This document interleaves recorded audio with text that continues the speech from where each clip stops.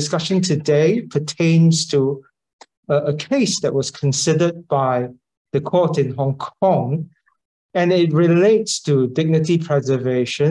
There are, of course, various means of doing so, uh, and Daisy will speak specifically to uh, some of the measures that we have here in Hong Kong. Uh, this mm-hmm. is not meant to be a comparative exercise because we do have eminent speakers presenting on the situation in the Netherlands and uh, also in Canada. Uh, we just want to introduce to all participants different perspectives and different approaches uh, to thinking about some very, very difficult issues. And I think it's very important for the audience here in Hong Kong, right? Because we are still uh, considering the options available as we mm-hmm. chart the way forward. So having these perspectives, I think, uh, could contribute to the discussion in view of the fact that, of course, before COVID, uh, there has been a public consultation done by the local authorities to try to understand concerns mm-hmm. in end of life care and some mm-hmm. of the measures that uh, could be taken up moving forward. So, with this, uh, warm welcome again to all our online participants um, uh, who has joined us. And uh, it's over to my co chair, Professor Gilberto Leung. He is a uh, professor uh, from the LKS School of Medicine at HKU uh, and co-director of the Center for Medical Ethics and Law, uh, of which I am his counterpart at, at, at, the law school. So with this, it's over to you, Professor Leung. Thank you. Thank you so much, uh, Calvin. Uh, good evening, everyone. it's really my pleasure to be here.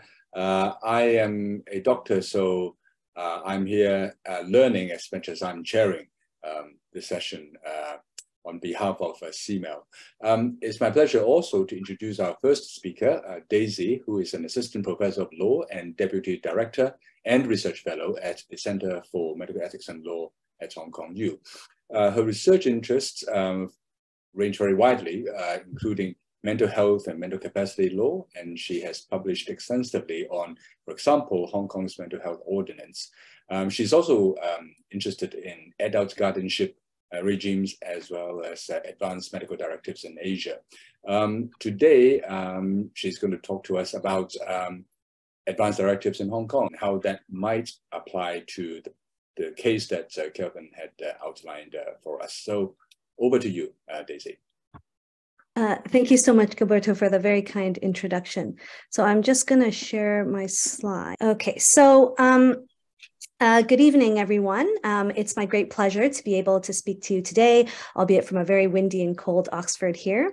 Um, as Calvin has kindly and also Gilberto has kindly explained, my topic today will be on an option for advanced care planning, the advanced directive, which may assist in cases where the individual in question no longer wants to continue living life in a particular condition and wishes to refuse uh, further treatment and acts as a key way to preserve the dignity of those who are terminally ill. So in cases like the case that uh, we will be discussing um, later on today, um, there are options um, in cases where the individual no longer longer or finds the life too difficult to continue can um, choose uh, uh, planning, decision-making tools uh, to prepare for the end of life.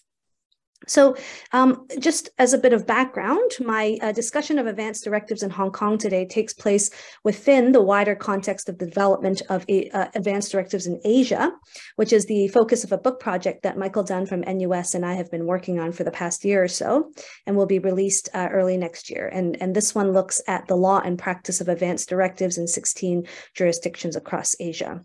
So here on the slide, you can see a list of the different jurisdictions we've covered and how we've organized them into categories for the book. For example, uh, under well-regulated jurisdictions or what we define as jurisdictions with a clear set of legal rules on or encompassing ADs. So this could be uh, legislation most commonly, and then also in India, there's very uh, clear judicial guidelines on ADs. This includes Israel, Singapore, Taiwan, Thailand, and India. And then we look at semi-regulated jurisdictions, which are defined as jurisdictions with other forms of regulations on ADs, such as regulation via official regulatory documents, practical guidelines, or other forms of guidance from professional societies. So this would include our jurisdiction of Hong Kong, uh, Iran, Malaysia, Philippines, and Turkey. And then, of course, we also have a look at some of the non regulated jurisdictions where there might be, at best, broad principles contained in the legislation or guidelines around healthcare that stress the importance of patient preferences in general terms, but no regulations or guidelines um, that connect to AD specifically. And under this category, we look at China, Japan, Macau, Pakistan, and Saudi Arabia. So, um, I begin with a quick definition of what I mean by ADs in um, this, uh, as used in today's presentation and in our book, um, an advance directive or an AD is a statement in which a person with mental capacity makes an advance decision in matters concerning their health and welfare, which is to be implemented in the event that the person loses mental capacity in the future. And the modern idea of the concept of the AD, as it is used in the healthcare setting, is generally traced back to Luis Kutner, who was an American human rights lawyer who wrote in the late 1960s. And while there is a very abundant literature on the concept and practice of ADs coming from Western jurisdictions, there was, um, to our surprise, a lack of comprehensive and systematic analysis of ADs in the Asian context, which our volume aims to address. So that brings me to the Hong Kong context, which is what I'll be talking about today. Um, and this discussion is taken from the chapter that I co-wrote with my colleague here at the law faculty, Associate Professor Rebecca Lee. So it's important to first note that as of now, um, there's currently no statute or local case law that clarifies the legal status of ADs, even though the common law principles that um, apply to advanced decisions, these are generally applicable um, in making valid ADs to refuse life-sustaining treatment in Hong Kong legally binding. So technically the common law principles apply, but we don't have local case law on this. And of course, we don't have statute yet on this. So if we can just have a quick look at some of the historical developments relating to ADs in Hong Kong, and uh, we divide this into three stages. So stage one covers three key documents, the Hospital Authority's first edition of the Hospital Authority Guidelines on Life-Sustaining Treatment in the Terminally Ill, which was released in 2002, and which had a brief discussion of ADs and practice was a reference was made to the practice in the UK at the time. Um, and in 2004, the Hong Kong Law Reform Commission, HKLRC, issued a public consultation paper entitled The Substitute Decision Making and uh, Advanced Directives in Relation to Medical Treatment. Uh, I'm sure many of you will be familiar with this uh, important document, and the results of which were uh, published in a report in 2006. So the HKLRC recommended that the government promote the concept of ADs under the existing common law framework instead. Um, and so instead of by legislation, as it was at the time considered premature to legislate, while the concept of ADs was still new to the community. And um, at, in 2009, the Food and Health Bureau, the FHB, issued a consultation paper in response to this HKLRC report and the majority of views it received from the consultation agreed that a non legislative approach to AD promotion should be adopted in Hong Kong. So here we can have a quick think about whether things have are really so different uh, now and at that time in relation to people's uh, awareness and understanding of ADs. But um, in any event, at the time it was considered premature and not well known in the community. And now, uh, as I will explain later, it is considered ready uh, for legislation. So we can think about whether there's a huge difference um, between these two periods. So then we come to stage two, which saw the hospital authority issuing a number of guidelines, including the guidance for HA clinicians on advanced directives in adults, which is issued in 2010 with a model AD form. And this was then updated four years later in 2014 with a shorter version for refusing CPR only. and importantly, it widened the scope of the application of ADs to other end stage irreversible life limiting conditions. And this is also the position taken in the latest legislative proposal, which I'll discuss shortly, and is actually an uncharacteristically broad scope among Asian jurisdictions, which tend to have a more conservative scope of application for ADs. And I'll touch upon this very briefly at the end as well. Daisy, your slides uh, are not advancing. Uh, you haven't advanced it anyway, so you're still on slide. Oh, sorry. Oh, my apologies. Yes, sorry about that. Yeah. Um, okay, so Uh, yes, and finally, stage three covers the recent proposals for reform. As most of you may be aware, and also as Calvin mentioned just now, the FHB has issued um, issued a public consultation paper on ADs in 2019 and a consultation report mapping the way forward in 2020. And significantly, as I mentioned just now, the government considered that it is now an appropriate time to consider AD legislation. So, uh, what was the legislative proposal? In terms of the definition and scope, an AD must be made by a mentally uh, person with mental capacity who is aged 18 or above. Uh, following the HA guidance I mentioned earlier, the pre-specific conditions of an AD include terminal illness, a persistent vegetative state or PVS, or irreversible coma, and uh, as previously mentioned, the other end-stage irreversible life-limiting conditions, which is the broader scope I mentioned before. And it's specifically stated uh, that an AD cannot include anything that is against the law, and for our purposes, uh, this includes euthanasia. So an AD will take effect when the person concerned no longer has the capacity to make healthcare decisions. So in terms of formalities, the making and modification of an AD must be in writing to be legally valid. It requires two witnesses, one of whom must be a doctor, and the doctor needs to be satisfied that the person has the capability to make an AD, has been informed of the nature and effect of the AD, and consequences of refusing the treatment specified in the AD. But revocation can be made both in writing and verbally. So if you decide that you don't want the AD to be valid anymore, you want to be saved uh, in, in those uh, or given life-sustaining treatment in those particular circumstances, you can do this verbally. Although if it's made verbally, at least one witness who has no interest in the estate of the person making the AD is required. And a second witness is required for the report of a verbal revocation made by a single family member or carer. A person can also revoke his own AD by tearing it up or otherwise destroying it or asking some other person to do so in their presence or by her direction.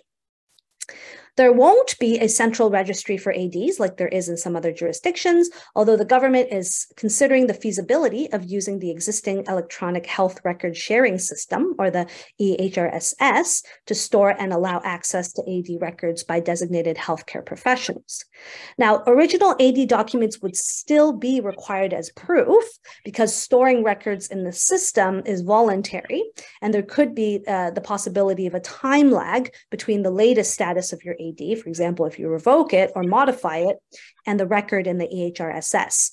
So, um, and in, in, addition, given that it may not be practicable to require emergency rescue personnel to first look for the EHRSS record of the AD while carrying out resuscitation at the same time, the government is proposing that the emergency rescue personnel rely on the production of an original AD attached to a signed DNA CPR form. So, this would mean that it would be the responsibility of the individual or the family uh, to draw the attention of emergency rescue personnel to the existence of the AD. So, um, in terms of safeguards, the original AD, as mentioned, is normally required, which could be a problem um, for some uh, people who say do not want to carry it uh, everywhere. But um, in cases where the treatment provider knows there is a valid AD and the family agrees, it is stated that the AD should be respected. The AD needs to be sufficiently clear and not under challenge. Uh, and there are also safeguards for treatment providers who won't be incurring civil or criminal liability for either way. So either for following an AD they reasonably believe exists or not following an AD they reasonably believe does not exist. So there's a lot of protection for doctors who are uh, faced with this decision as to whether to implement the AD or not. So um, in the interest of time, these are the key features of the proposal I'm going to cover. But what are the, some of the concerns that could arise from these uh, this proposal or, or the features of this proposal? So the government has made it clear that it's not prepared to enact all encompassing legislation on mental incapacity, which would impact upon areas such as ADs, healthcare decision making by attorneys, and guardianship, adult guardianship. And it's also unlikely for the government to overhaul the uh, outdated mental health legal regime in Hong Kong anytime soon. So, Rebecca and I argue in this chapter that because of this, the piecemeal attempt of the government at codifying the law on ADs is inadequate in two key ways. Uh, the first relates to inconsistencies or ambiguities in existing law. So, in addition to proposing AD legislation, there are other uh, decision making tools that you can rely on in Hong Kong. So, for example, the government is currently proposing new legislation on continuing powers of attorney. Which would cover, which would have, so you would have a power of attorney for someone who would take care of your health, welfare, and other personal matters. And these new laws will add to the decision making tools we already have, such as the enduring powers of attorney. Some of you may know about this, which deals with financial matters. So, this kind of piecemeal approach, adding a bit at a time um, to legal regulation, fails to take into account that these are all, in fact, components in the overall promotion of autonomy of the individual concerned and need to be viewed in this larger context. And without an overhaul of all of these different laws uh, that considers these tools in a holistic manner, there could be ambiguities in the definition of legal terminology and unclear overlapping boundaries or even inconsistencies between these different legal tools. The second concern relates to the assessment of mental capacity. So for those of you who are interested, I gave a presentation on this issue, uh, this uh, specific issue at an earlier CML conference two years ago, and the recording is here um, in the link on the slide, uh, where I go into more detail about the different capacity tests that could be applicable. Um, but the gist of the concern, though, is that the capacity test for ADs, or the test that will be used to assess whether the a, a person making the AD has mental capacity or not is not really elaborated upon. It's just that the person has a capability to make an AD. So what does that mean, right? And there are different formulations of the test that could apply. This includes the test at common law, which is generally understood to be the three steps in the seminal case of Re C, the test for capacity to consent to treatment in the mental health ordinance, and capacity tests that have been laid out in HA guidelines. So hospital authority guidelines themselves have different uh, capacity tests as well. So while the legislative initiative uh, for ADs is no doubt welcome, the importance of legislating a unified statutory capacity test cannot be understated. And the unwillingness of the government to deal with this issue can cause ambiguity and difficulty in the implementation of ADs by medical practitioners in the long run. So I'd like to briefly move on to talk about the practice of uh, local practice of ADs in Hong Kong, as well as some of the value commitments and social cultural influences that could be affecting this practice. So here on the slide, you can see the number of ADs signed by hospital authority patients between the years of 2012 and 2018. Although, um, do note that these figures do not include uh, number one, the number of valid ADs received. Number two, the number of ADs that were implemented. And number three, the number of ADs produced that were not according to HA's model form. So on their own, these figures here do not tell us too much about local practice, unfortunately. But you'll see that there is a marked increase in the number of ADs signed over these years. Although quite interestingly, in the webinar on advanced directives I mentioned, uh, which took place a couple of years ago, Dr. Jacqueline Yuen argued that this increase is not indicative. She felt this wasn't indicative of an increase in awareness or acceptance of ADs generally, but rather a result of the changing demographic of service users of the HA, who take care of a disproportionately high percentage of persons with life-limiting illnesses. So in her presentation at our webinar, Dr. Yuen explained that service utilization of HA hospitals is increasingly being taken up by these patients, particularly in their last year of life, which is further demonstrated by the fact that 90% of deaths occur in HA hospitals. So this interpretation of the data would be consistent uh, with the uh, data in research in the Hong Kong context, which demonstrates both uh, a low awareness and low uptake of ADs. So while um, a low uh, a lack of awareness about ADs can be explained by inadequate promotion and education, which clearly has been minimal in Hong Kong, an interesting phenomenon observed in Hong Kong is the discrepancy between positive attitudes towards ADs and the actual making of ADs. So for example, um, Chan et al. study in 2019 found that while 18.4% of their, uh, of their study uh, participants, so 368 of them, had heard of um, ADs, so it's very small percent of them, the vast majority of those, 80.2%, had said they had made or intended to make an AD. Out of those 295 people, however, only 3.7%, so only 11 of them, had actually made an AD. So even though not all studies have been able to demonstrate this level of high, uh, high level of positivity and attitude towards ADs, there does remain a significant discrepancy between reported attitudes and uh, actual uptake of ADs. So assuming the positive attitudes are reflective of the patient's participants' true preferences, there seems to be some difficulty translating those preferences into action. And what might be the reasons behind this discrepancy? Um, in our chapter, we briefly explore two of them. The first is uh, resistance from family uh, members uh, uh or caregivers. And studies have shown that family members often feel compelled to maintain the patient's life, which means that they're unwilling to forego life sustaining treatment. Arguably, this could be said to stem from a strong belief in Confucian filial piety, which translates into doing everything to save the patient, even if this might not be in line with their own preferences, uh, the patient's own preferences. This kind of resistance from close family members can be a crucial factor contributing to the failure of the person to actually make an AD, because as many academics have argued, the unit of decision making, especially for medical decision making, is generally seen as the family in Chinese culture. So that means if there's strong objection from family members, the person will likely not proceed with the AD, even if it is in uh, their preference.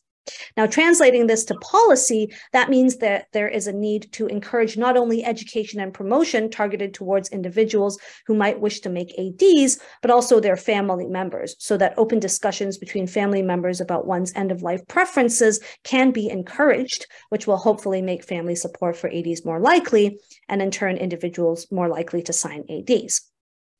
The other big reason that might be causing this discrepancy is the lack of effective communication and coordination on the part of healthcare and other professionals regarding the making of ADs. So in their 2020 study, Chung et al. present a compelling case of what they call unprepared um, healthcare professionals and healthcare system as one of the barriers to advanced care planning more generally. And one of the various examples of this was a patient's experience with an oncologist who kept persuading him to receive treatment despite an expressed reluctance to receive futile life sustaining treatment. And Chan et al.'s 2019 study, which I briefly mentioned before, also sheds some light on how important the role of healthcare professionals actually is. Um, and when asked, the majority of study participants expressed that they would agree to making ADs to varying degrees in the following scenarios. One, if the doctors can provide a clear explanation and recommendation on ADs. Two, if there is effective communication and coordination among uh, doctors at different institutes to execute their decisions. And three, if they could have a thorough discussion and follow up with healthcare professionals about ADs. So this really shows us the importance of healthcare professionals in facilitating the process of making an AD and conversely in discouraging individuals from making ADs. So I've briefly explored the situation in Hong Kong, and I'd like to spend my last few minutes on um, the, uh, some final thoughts about ADs in Asia more generally, and in particular, some findings and trends that were found after surveying the, the jurisdictions in our book, which will hopefully serve as an interesting point of comparison for, for Hong Kong. Although, as Calvin said, the point of today's seminar is not to, to do this um, comparison. So um, some of the key uh, patterns and uh, observations we noticed included a clear trend across jurisdictions being um, the conservative approach that has been adopted in relation to the governance and use of ADs. So most jurisdictions limit ADs to patients with terminal illness, although as we just saw, Hong Kong is an exception to this. And um, in jurisdictions like Singapore, South Korea, and India, this is further limited to instances of determined medical futility, which some have argued adds little deliberative value to the decision to withdraw life sustaining treatment, which might be made by the doctor anyway. Extensive procedures are often uh, required prior to the implementation of the AD, generally little regard for emergencies, and also a relative lack of explicit duties to implement ADs or any punishment if they are not implemented. So Taiwan was the only jurisdiction in our book with strict penalties for the violation of a patient's AD, but only under one of its uh, two legislative regimes, the older one. There's also a clear trend um, of a lack of awareness and understanding of ADs, even in jurisdictions where there is a clear, detailed, and comprehensive legislative framework. And there were some interesting variations as well. So um, variations in the specificity of the regulation on two uh, extremes. So in terms of over specificity, we had South Korea and Israel that both separated dying into two stages. So essentially dying and then dying imminently. And this distinction was important because it shapes the permitted actions in each stage. And this over uh, specificity can be paradoxically more ambiguous for doctors for example, because prognoses don't often fall neatly into categories of less than six months or more than six months, or because it's unclear whether an acute disease like pneumonia that could technically cause death within two weeks, um, and it's unclear whether that can be treated, and therefore whether dying imminently uh, is, is warranted, that label is warranted. And then on the side of underspecificity, for example, Japan allows doctors to define what terminal stage is, which the authors argue could result in an inconsistency in application. And then, of course, also uh, variation in flexibility of form uh, formalities. In India, uh, the judicial guidelines have a ridiculously uh, large amount of uh, formalities that are required. Uh, for every single one, they need a judicial magistrate first class to do all of these things that you can see on the slide, which is particularly problematic because there are only a very small number of these JMFCs in any given city, and they are already dealing with a significant backlog of cases. And then on the other hand, uh, Thailand um, has no specific format, uh, no requirement from witnesses, no registration system. So physicians are less likely to be aware of the existence of the AD, and especially whether it was made um, at the time when the inv- individual had capacity, because no uh, capacity test is required at the time the AD is made. So uh, just for my last two slides, a couple of points about um, what we discovered in relation to the role of religion and the role of family in these jurisdictions. In terms of the role of religion, there were a wide range of religious traditions represented in the book, including Christianity, Islam, Judaism, Buddhism, Hinduism, and Jainism. A common feature among these religions is the sanctity of life principle, but it didn't it impacted the development of ADs in different kinds of ways. So interestingly, even in jurisdictions like Israel, where it's made clear that sanctity of life is of utmost importance, this has not precluded the development of ADs, although it has restricted the scope of, of ADs or what's permitted. There's also been a tension between these overarching religious principles guiding the jurisdiction and the needs of practice um, by doctors on the ground. And then we have the role of the family, finally, which was recognized as being highly influential in almost all of the covered jurisdictions, although we argue in our conclusion that the nature and justification for this um, influence was much more nuanced and complex than is typically recognized in the literature. Um, and we saw from these jurisdictions that the family can play different roles um, in medical decision making for different reasons. So some of these roles are here on the slide. So we did find a lot of interesting things in our survey of this jurisdiction, these jurisdictions beyond what I've covered today. So if you are interested in the topic of ADs and advanced care planning more generally, I do hope you have the chance to take a look at the book when it comes out. Um, it is open access due to the generosity of the Wing Foundation. So um, that's it from me. I should be just under 25 minutes. And thank you very much um, for, for your attention and I welcome any questions on this. Thank you. Right. Uh, thank you so much, Stacy, for this talk, which is broad as well as deep uh, in its scope. Gives me great pleasure, of course, to uh, to welcome our next speaker. So many thanks again, Daisy. Um, our next speaker is Professor Jaap Doek. As you see, he's got impressive credentials, particularly on matters pertaining to the welfare of a child. So he has had vast experience uh, in various capacities looking into uh, welfare of children. And of course, he's going to speak to us on a very uh, difficult matter, doubly difficult, not only because it relates to end of life, but of course pertaining to a child. Of course, he speaks with great experience, as you see on his biography. So without further ado, it's over to you, So, Du. Thank you so much. Thank you very much, and good evening, everybody. Uh, I'm approaching the issue of preservation of dignity of terminal ill uh, with a focus on the child. And first, I would like to start with some, some observations on dignity, because preservation of dignity uh, leads to the question, what are we meaning with dignity? And there is, in my, at least I couldn't find a, a real clear and satisfying definition of dignity. In the Convention on the Rights of the Child, there are two articles that mention explicitly dignity. The one is on children with disability. They have the right to enjoy a full and decent life in conditions which ensure dignity. And the other article is very interesting, is about children in conflict with the law, and they should be treated in a manner consistent with the promotion of the child's sense of dignity and worth. No definition, but you can argue, and some people do that in the circles of children's rights, that there are basic components of human dignity, such as the right to life, physical and mental integrity.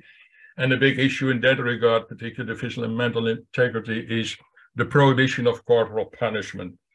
A very tough issue in many countries, but the simple answer is every form of corporal punishment is a violation of the dignity of the child.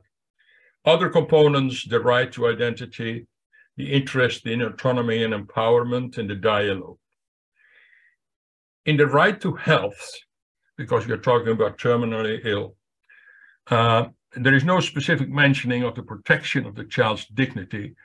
However, the protection from particularly traditional acts that are pre prejudicial to the health of the child can be considered as a, a protection of the child's dignity. Uh, before, yeah, next slide, please.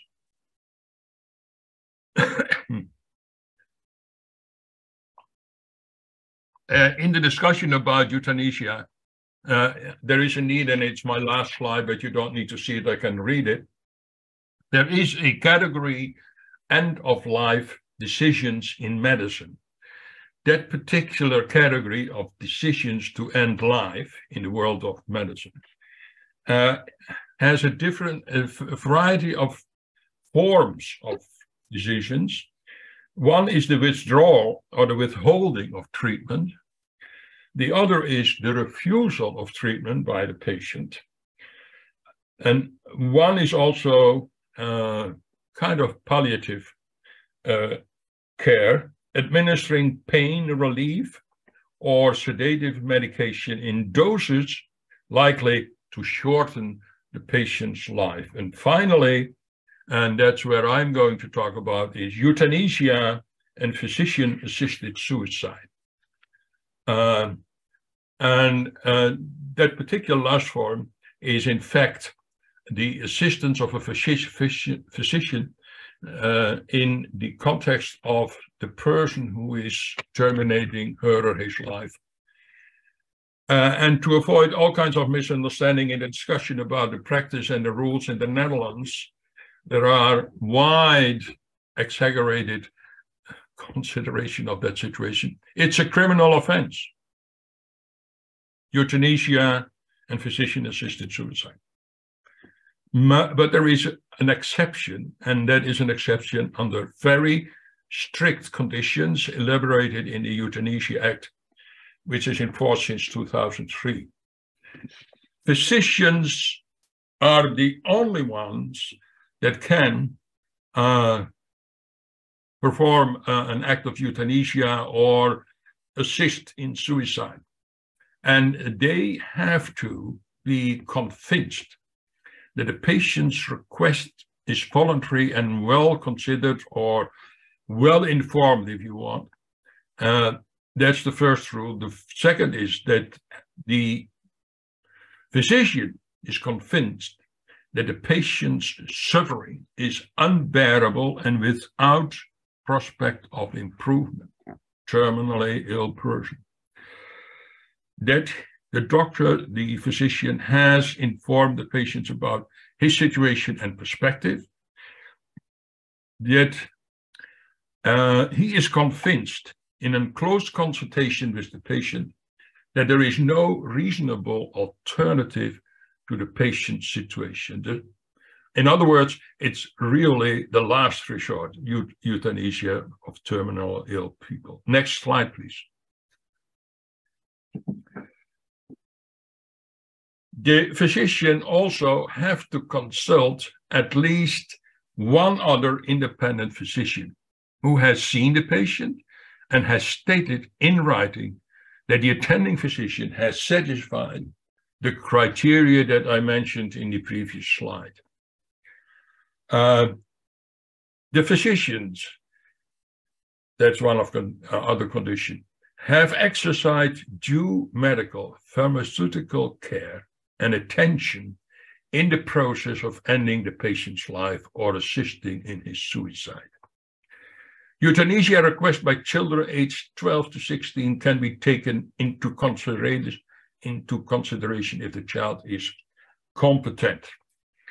Requests can be granted provided that the parents or the legal guardians are uh, agree they don't they don't give a permission but that they can agree with the child's wishes coming back to the competent child, uh,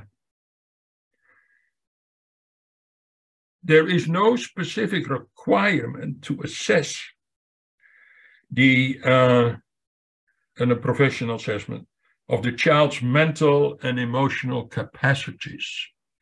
That's not a requirement under the law. I think we should keep in mind that we are talking about children that most likely already have been under medical treatment for a long time, with a rather full understanding of their illnesses, their terminal illness, uh, the, the, terminal nature of their illness, and uh, that there is a close relationship between the physician and the child that is under her or his treatment. So next slide, please.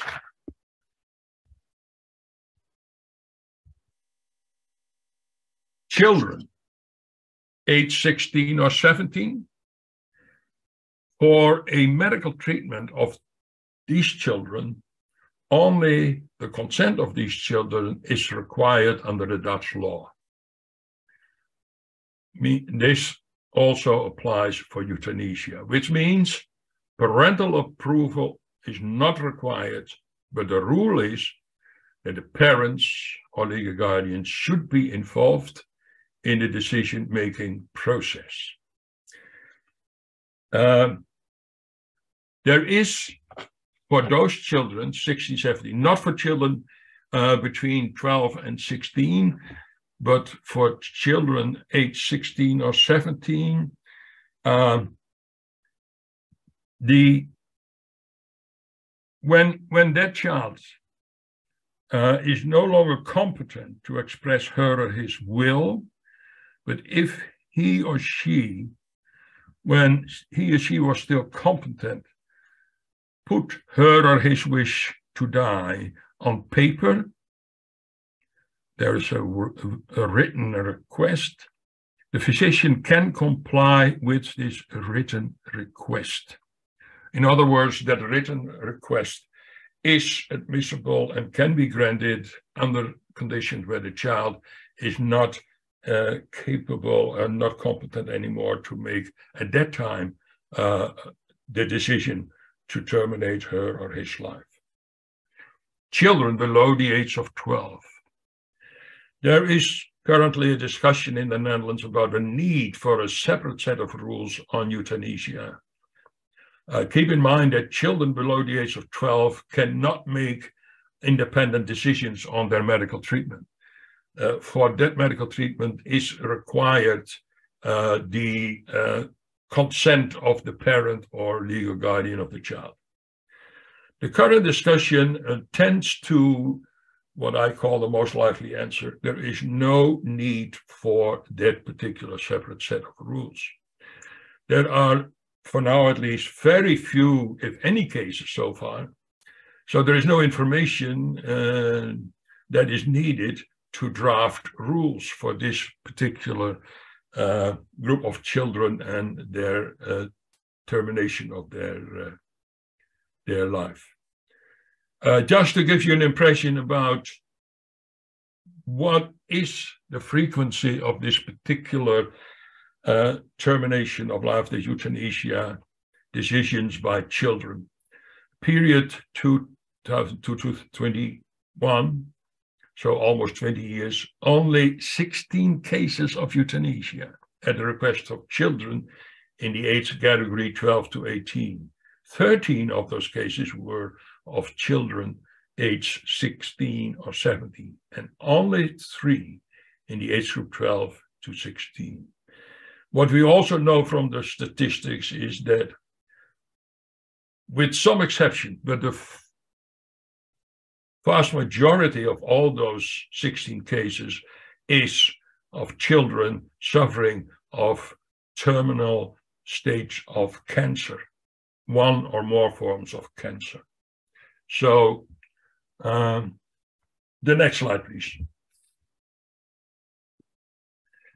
Now, the question of the monitoring of this practice of euthanasia. It's not only a very clear set of rules that have to be met in performing euthanasia, but there is also a rather strict monitoring of the practice. The attending physician who uh, performed the euthanasia or assisted in the suicide has to report every case of euthanasia or physician assisted suicide to the coroner with a reasoned explanation of that particular act. And the coroner forwards this report plus the explanation of the physician to the regional review committee for euthanasia and uh, physician assisted suicide.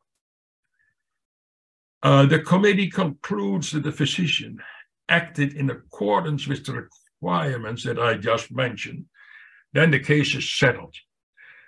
No information about that case goes to the public prosecutor. Keep in mind, euthanasia and uh, physician assisted suicide is a crime. If the requirements are not met, the coroner reports the case to the public prosecutor. And that only happens if all five regional review committees, we have five regional review committees, after they have studied the case separately, and they found that the physician's activity was inadequate, meaning he didn't meet all the requirements. Then the case is submitted to the highest body of the public Dutch public prosecution, that is the Board of Procurators General, and that body ultimately decides whether the physician will be prosecuted. 76 cases in the last 13 years were there where the physician did not act in accordance with the requirement. Only 0.2% of all reported cases in that period. Physicians were interviewed by the prosecutor and resulting in a conditional or unconditional dismissal of the case. So far, none of those physicians have been prosecuted. And I think that is my last slide. Yes. That's it. Thank you.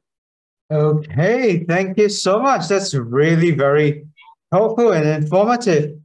It, it gives me great pleasure now to introduce our third speaker, uh, Professor Trudo Lemmens from the University of Toronto. Uh, as you see here, also similarly distinguished track record uh, in his biography. He's going to speak to us uh, of an important development in Canada now. Of course, this uh, triggered, as you see in his abstract, from a decision of the Supreme Court of Canada. So uh, you'd have the judiciary having had an important role in bringing about this important change, leading to, of course, uh, the legislation of the medical assistance in dying or, or MAID in abbreviation. So with this, thank you so much for joining us bright and early your time, Trudo, and uh, the floor is yours. Uh, thank you, uh, Professor Ho and Professors Leung and Doek. Um, it's a pleasure to uh, to join you here. It's early in the morning here. It's even too early nearly for soccer games uh, during the World Cup. So I will be uh, speaking about the Canadian developments. Um, uh, it, I have a lot of slides, so I will particularly talk about uh, how the Canadian uh, system has developed since a Supreme Court case in um, in 2016, and I would call it a cautionary tale, particularly because of the way in which the Canadian regime has developed. I've personally participated in this debate for quite some time. I'm originally from Belgium, and I also speak uh, Dutch, uh, and so I followed closely the Belgian and Dutch regimes. I, I think there have been certainly in the last 10, 10 years some uh, concerning developments. So that's my personal opinion about that. And I, in the Canadian debate, I, I try to send also a warning sign about well, there are there there are some uh, components or some risks in the in the introduction of a practice that you have to take into consideration. Uh, but I think the Canadian debate and the Canadian developments are interesting to look at because it shows how when a constitutional court declares that there is some form of a right to medical assistance in dying, as we call it here, which basically covers euthanasia and assisted suicide, how that can very rapidly evolve and, in my view, create uh, additional problems. And so it's a cautionary tale. I mean, I, I read the case um, that you, around which you you are discussing this in the in the context um, which is a tragic case, a typical tragic case. But I, I would, I would caution to think carefully about how to respond to these individual cases. So let me start with um, my presentation. So in 2015, the uh, Canadian Supreme Court um, declared in a case of um, uh, two persons, or basically one person was uh, remaining still in as a, as a plaintiff uh, who was suffering from a, a neuro neurological disease, um, an ALS, that there was a right to physician-assisted death for a competent adult person who clearly consents to the termination of life and has a grievous and irremediable medical condition that causes enduring suffering that is intolerable to the individual in the circumstances of his or her condition. So a lot of the elements that you see reflected in the Dutch and the Belgian laws also with respect to why uh, euthanasia should be allowed in some circumstances. Uh, it also confirmed a right to refuse treatment options but particularly in the connection with the MAID request, which actually has, in my view, created a problem that makes the Canadian regime go further than the Dutch and the Belgian regime. This connection of right to refuse treatment at the same time as being able to have a MAID request. So um, there's suspension of the invalidity by the Supreme Court, and, and Supreme Court basically left Parliament one year to introduce a new uh, law that would uh, comply with its its broad parameters. So the Parliament later used the term medical assistance in dying or MAID, and so I will refer to that. So keep in mind that captures euthanasia and physician-assisted suicide.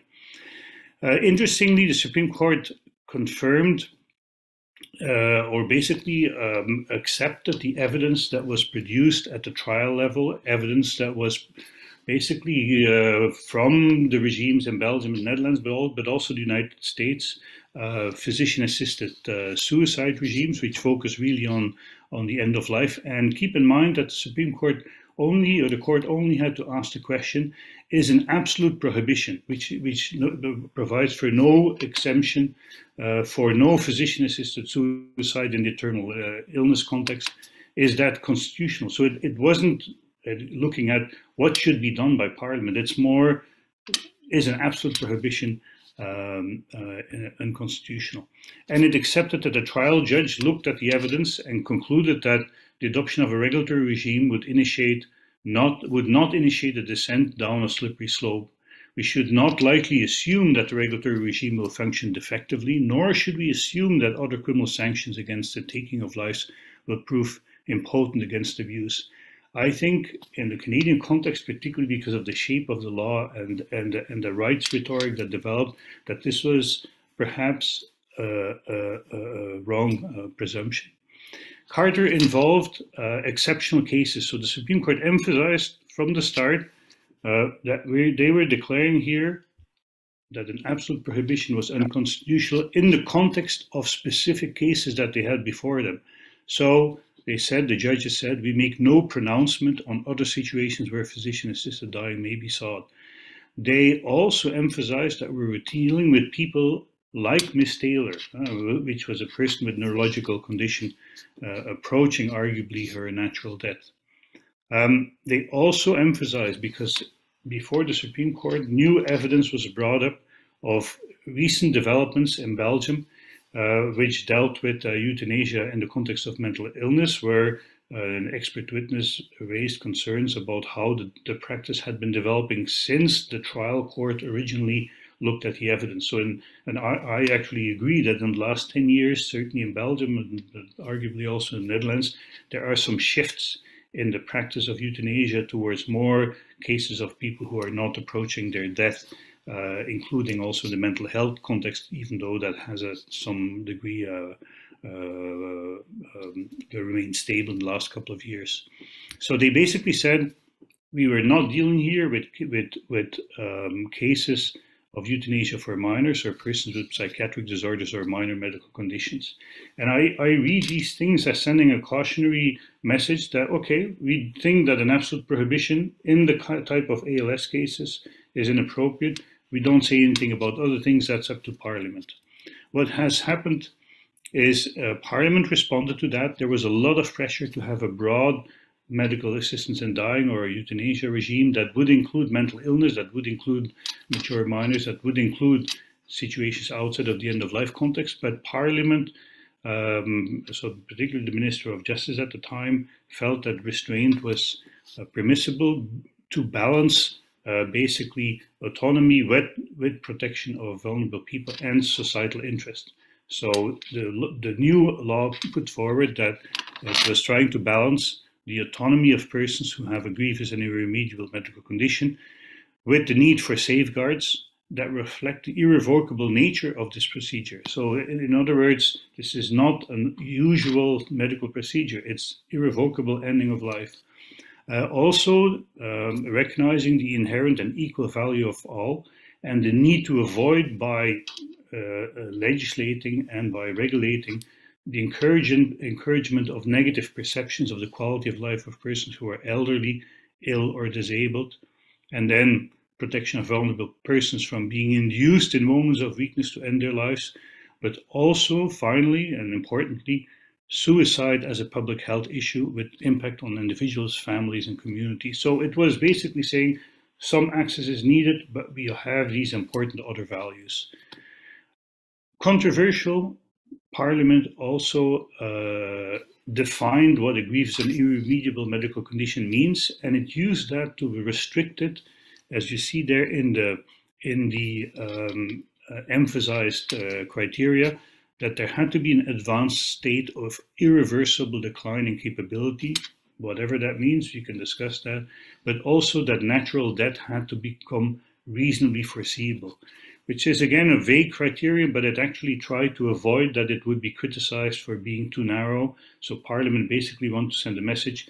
It has to be in the context of the transition between life and death, like a person who is approaching their death. Safeguards were introduced, which are similar to uh, what Belgium and the Netherlands has. Um, uh, requests had to be in writing, independent witnesses, um, there had to be also, interestingly, a flexible mandatory 10 day reflection period. So, flexible because it could be shortened if a person was about to lose consciousness um, or was uh, approaching their death. Um, references obviously to the absence of the need for an external of uh, the absence of external pressure and reporting obligations were introduced uh, or, or regulations would be allowed to, uh, to, in, to impose reporting obligations, which in my view are actually much more um, vaguer, much vaguer and less informative than, than the system in the Netherlands. There's some other uh, interesting elements in the 2016 law as a, as a, let's say, as a compromise with those who are pushing for a broad law. The, the law also introduced an obligation for the government to initiate a study on what had to happen with mature minors, what had to happen in the context of advanced requests for for MAID, for example, for people who are um, developing dementia and want and now want to know that they will have access to it. And then finally, mental health as the sole basis for assisted death. In other words, people with mental illness had access to medical assistance in dying, to euthanasia in the, under the original law, but only if they fulfilled also the other criteria, namely, let's say that they were dying from cancer and, and mental health would not be an impediment to have access to, to MAID.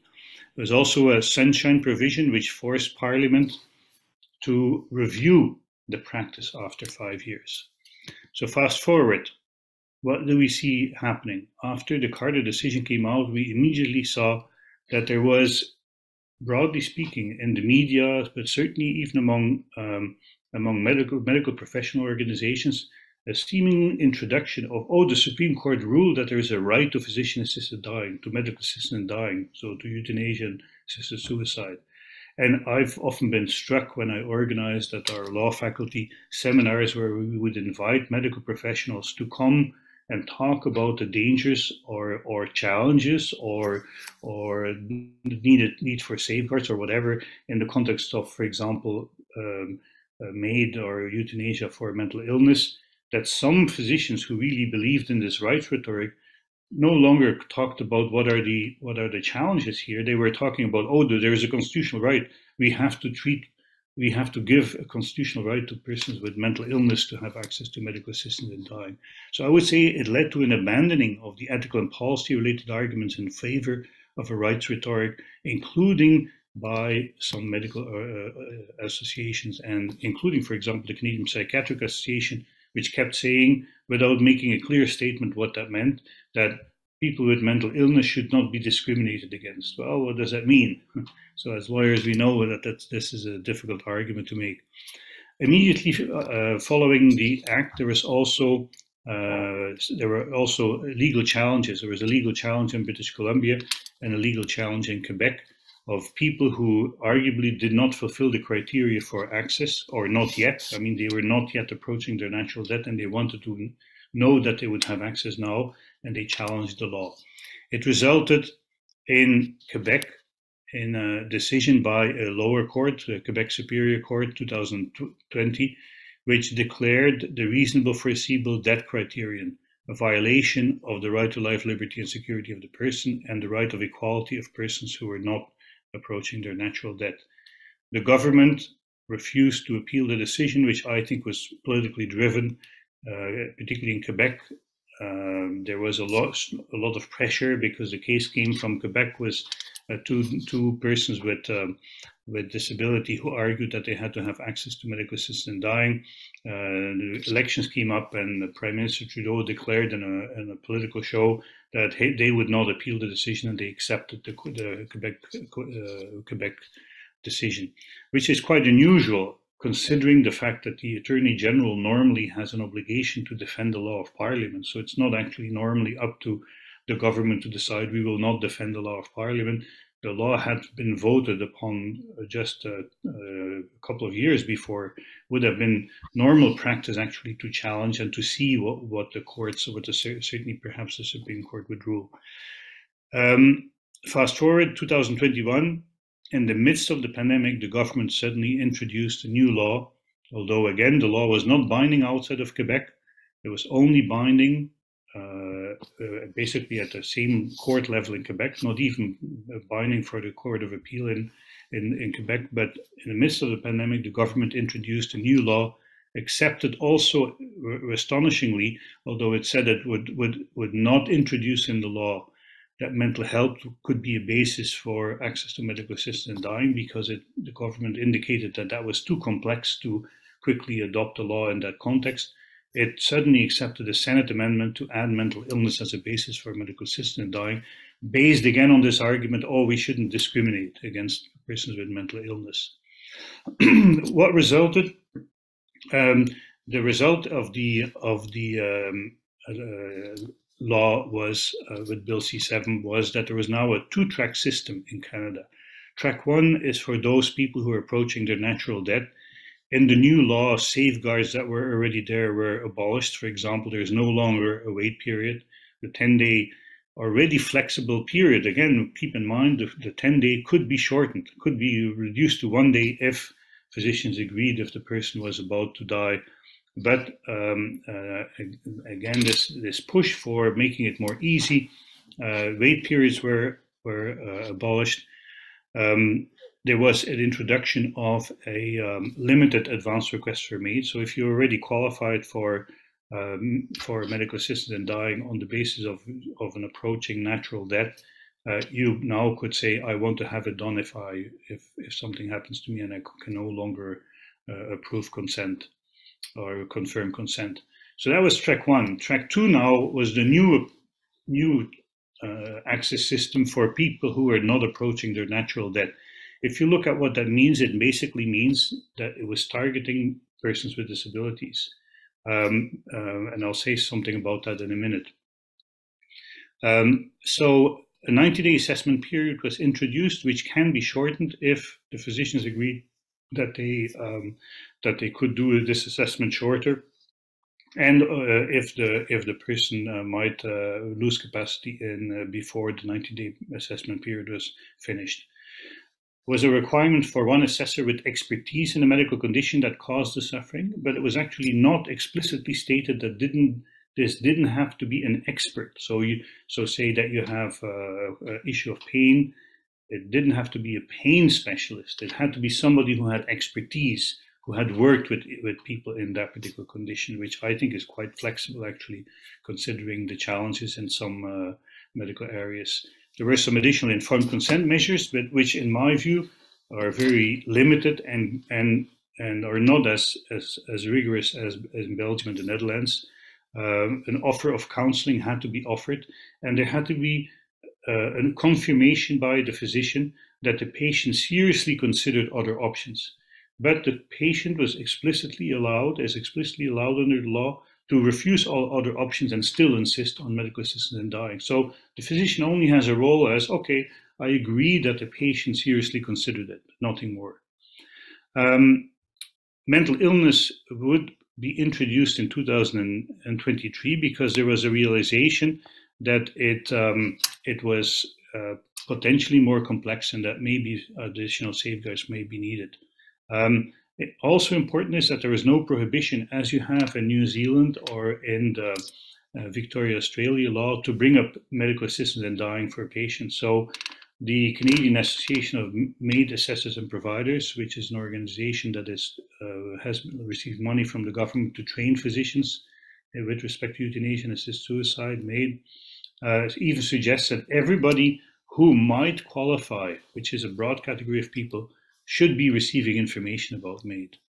Okay, so um, some of us, including actually the three United Nations special rapporteurs and human rights experts, uh, have argued that the de facto focus on uh, persons with disabilities, the removal of the restriction to end of life as a safeguard, but only for persons with disabilities is discriminatory. Why? Because it actually, so why, why is it only persons with disabilities? If you look at, at what who now has access to medical assistance dying outside of the end of life context, you have to have a chronic illness, disease, or disability with irreversible decline of capability and an irremediable condition, which de facto fulfills the criterion of being a person with disability. So we argue that it's discriminatory, and this has been an ongoing debate.